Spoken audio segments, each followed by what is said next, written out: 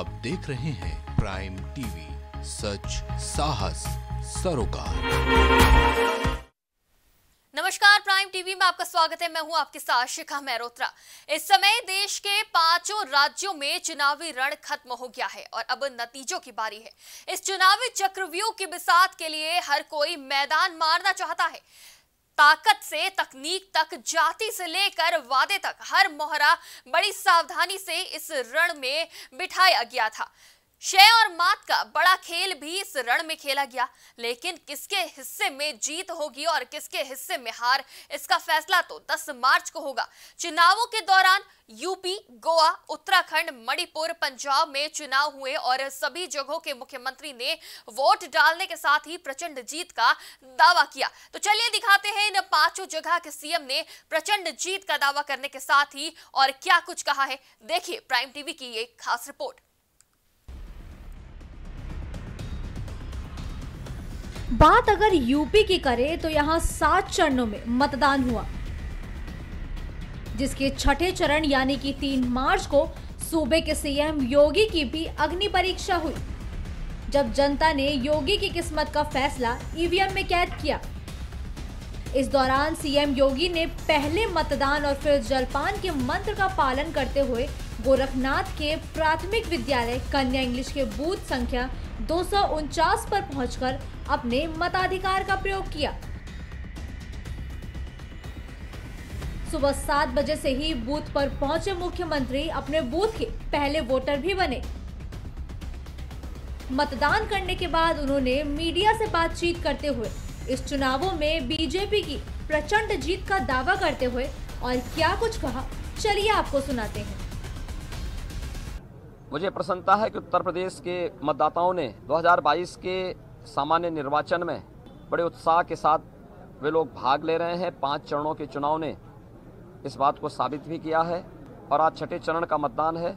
मैं विश्वास के साथ कह सकता हूँ कि पाँच चरणों का जो रुझान है, भारतीय जनता पार्टी, प्रधानमंत्री मोदी जी के मार्गदर्शन और नेतृत्व में पूर्ण बहुमत से काफ़ी आगे वर्तमान में चल रही है। आज छठे चरण का जो चुनाव है इसमें जोरदार छक्के लगेंगे और भारतीय जनता पार्टी पौने 300 300 के लक्ष्य को प्राप्त करने की ओर अग्रसर होगी।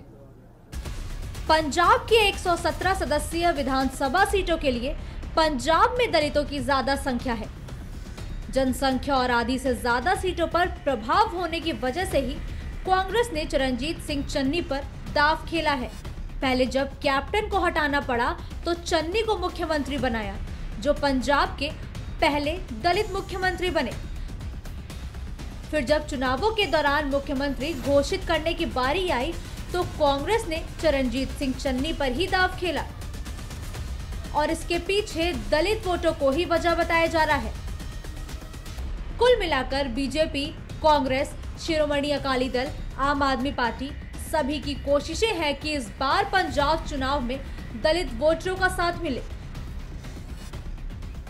क्योंकि सियासी बीज गणित में तो ये तय है कि जिस भी पार्टी को दलितों का साथ मिला है, उसी के सिर सत्ता का ताज सजता है। वही मतदान के दौरान चन्नी ने भी मतदान स्थल पहुंचकर अपने मताधिकार का इस्तेमाल किया है। देखिए, आज मैं ज़्यादातर अपने क्षेत्र चमकौर साहब में रहा हूँ या पदौड़ की खबर आती रही है। दो क्षेत्र से मैं इलेक्शन लड़ रहा हूँ, जहाँ से मुझे कहा जा रहा था कि ये हार रहा है। मैं आपको ये अपने लिए, मेरे लिए खुशखबरी है। आपको भी खुशखबरी देना चाहता हूँ कि मैं दोनों क्षेत्रों से बड़े अच्छे मार्जिन से जीत रहा हूँ। बाकी पंजाब का अभी रिपोर्ट आएगी, चारों तरफ़ से पता चलेगा, सबसे बात करेंगे, फिर उसके बाद ही कुछ कह पाएँगे कितनी सीटें कौन जीत रहा है और कितनी बड़ी मेजोरिटी से हम जीत रहे हैं या क्या स्थिति है, इसके बारे में अभी मैं कोई टिप्पणी नहीं कर सकता क्योंकि मेरे पास पूरी फीडबैक नहीं है। हाँ ये है कि अच्छा उत्साह देखने को हर तरफ़ कांग्रेस के हक में मिला है। जब यूपी में दूसरे चरण के चुनाव चल रहे थे तो उस वक्त गोवा में भी चुनाव चल रहे थे। गोवा की 40 विधानसभा सीटों के लिए 14 फरवरी को मतदान हुआ। गोवा की 40 विधानसभा सीटों पर अठहत्तर दशमलव नौ चार फ़ीसद वोटिंग हुई। प्रमोद सावंत इस वक्त गोवा के मुख्यमंत्री हैं। मुख्यमंत्री प्रमोद सावंत बीजेपी के टिकट पर वेलिम विधानसभा सीट से चुनावी रणभूमि में उतरे हैं। पेशे से आयुर्वेदिक चिकित्सक प्रमोद सावंत 2017 में विधानसभा सदस्य निर्वाचित हुए थे। इस बार भी सिंक्वेलिम में सीएम प्रमोद सावंत की प्रतिष्ठा दाव पर लगी है। यही वजह है कि वो खुद मतदान स्थल पर पहुंचकर उन्होंने अपने मताधिकार का इस्तेमाल करते हुए क्या कुछ कहा। चलिए आपको सुनाते हैं। मैं सभी गोवा के लोगों को आह्वान करता हूँ कि बड़ी मात्रा से वो बाहर आ जाए और वोटिंग करें। सबके लिए मैं मैं एक इतना ही कहूँगा कि भारतीय जनता पार्टी ने जो 10 साल से काम किया है, वो काम लोगों के सामने है। वो सब कुछ देख के स्टेबल गवर्नमेंट फॉर्म करने के लिए हमारे सभी कैंडिडेट्स भारतीय जनता पार्टी ने जो खड़े किए हैं, उन सभी के लिए सभी वोट करें। जिस मैं यही आह्वान करके, यानी गोवा में आत्मनिर्भर भारत, स्वयंपूर्ण गोवा बनाने के लिए भारतीय जनता पार्टी को फिर से एक बार हमें सेवा करने का मौका मिले। किसी भी प्रदेश की सत्ता पर काबिज होने के लिए सभी दल तमाम तरह के हथकंडे अपनाते हैं। कोई अपनी उपलब्धियों के ज़रिए तो कोई आरोप प्रत्यारोप के ज़रिए अपना जनाधार बढ़ाना चाहता है। कुछ ऐसा ही इन चुनावों के दौरान भी देखने को मिला। बात अगर उत्तराखंड की की जाए तो उत्तराखंड में 14 फरवरी को वोट डाले गए। सीएम पुष्कर सिंह धामी ने नगरा तराई के आदर्श विद्यालय बूथ पर पहुंचकर अपना मतदान दिया। इस दौरान उन्होंने कहा कि लोकतंत्र के इस महापर्व में जनता ने खुलकर भाजपा को समर्थन दिया है। जनता के इसी विश्वास ने मुझे काम करने की और ऊर्जा दी है और जनता ने प्रदेश में हुए विकास कार्यों को देखकर ही इस बार अपना मत दिया है। इस बार उत्तराखंड की जनता सारे मिथक तोड़कर इतिहास रचने जा रही है। आगे सीएम ने जीत का दावा करते हुए मतदान के बाहर मीडिया से क्या कुछ कहा? चलिए आपको सुनाते हैं। एग्जिट पोल आए हैं और अधिकांश एग्जिट पोलों ने उत्तराखंड में भारतीय जनता पार्टी की सरकार दिखाई है। लेकिन मैं ऐसा मानता हूँ कि जितने भी एग्जिट पोल आए हैं, जो नंबर आए हैं, वो नंबर कम है और जिस दिन हमारा रिज़ल्ट आएगा 10 मार्च को ये काफ़ी ज़्यादा संख्या होगी और हमारी प्रचंड बहुमत की सरकार बनेगी। इसको लेकर मैं आश्वस्त हूँ। हमारे कार्यकर्ताओं ने बहुत अच्छा काम किया है। हमारे पन्ना प्रमुखों ने काम किया है। हमारे बूथ अध्यक्षों ने काम किया है।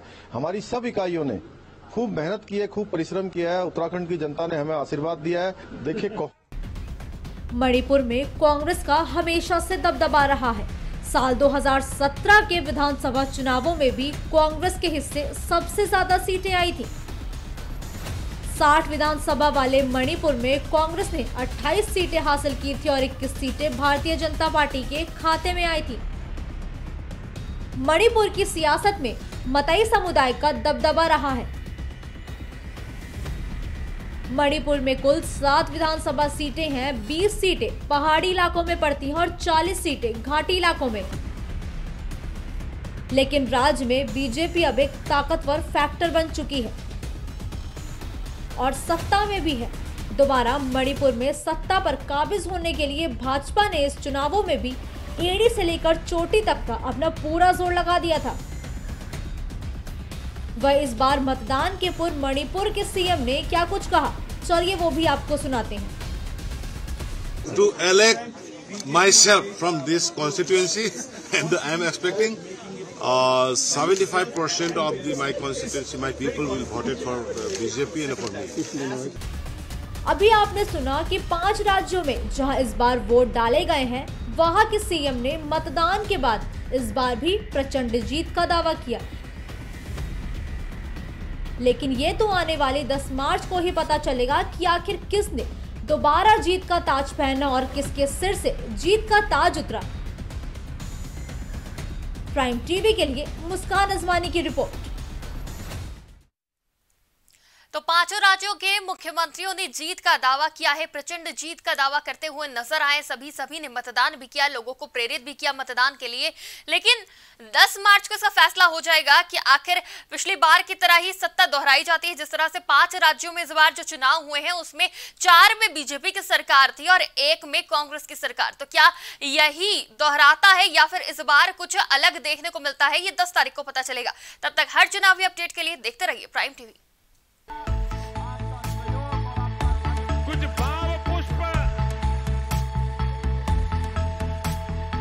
आप देख रहे हैं प्राइम टीवी सच साह